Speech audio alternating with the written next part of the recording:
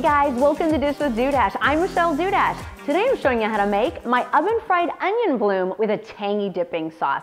This is actually one of the most popular recipes on my blog and on my Pinterest. So I thought it's time to make a video for you guys. Now, if you're like me, you love the fried onion blooms that are found at a lot of those popular steakhouses. My version, of course, it's made in the oven instead of being deep fried. So we're gonna save big time on the fat and still have all of that flavor. Let's go. The first thing we do is cut our onion. So we start by cutting off a quarter inch from the stem end. Then we cut just the tip of this little hairy nub. You wanna keep that core intact because that's what will keep our onion bloom intact and prevent it from breaking into a thousand slices of onion. So now we peel the onion. So you just need to take off the first layer.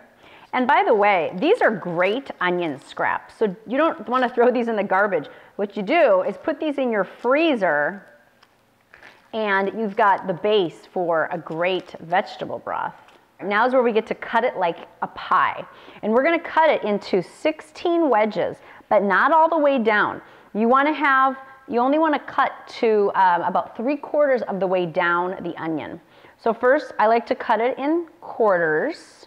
This helps you, uh, personally, this helps me get the most even. Then cut, cut each quarter into half, and then cut each eighth into half. If you don't wear contacts, you are definitely gonna be crying. Okay, so now you can see we have 16 pie wedges. So now what we do is place this in a bowl of ice water, like so. And we're gonna let this sit for 45 minutes. After the 45 minutes, we have our onion bloom. So you can see that the little pieces are, you know, it's expanded, they've started to pull apart, they're a little, little relaxed. So we'll just drain this off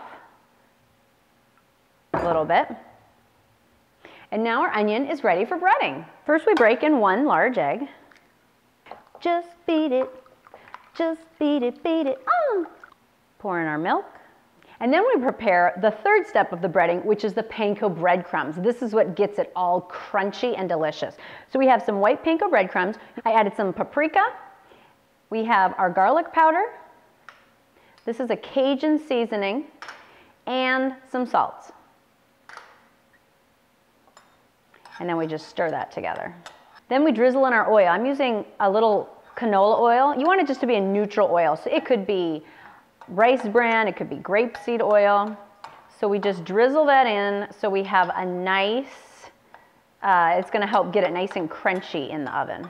Now that we have our breading station already, we can dredge our onion in all of this goodness. So I'm just spreading apart the onion bloom because then we want, you know, because we want all that breading and all that sticky stuff to get into the crevices. Okay, wait a minute, I changed my mind. Halfway through this demo, I've made this recipe before, and actually I just came up with a new discovery, which is put the batter, duh, in a small bowl, because then it's way deeper, and you can just dip this. And I totally just remembered that. Hashtag the more you know.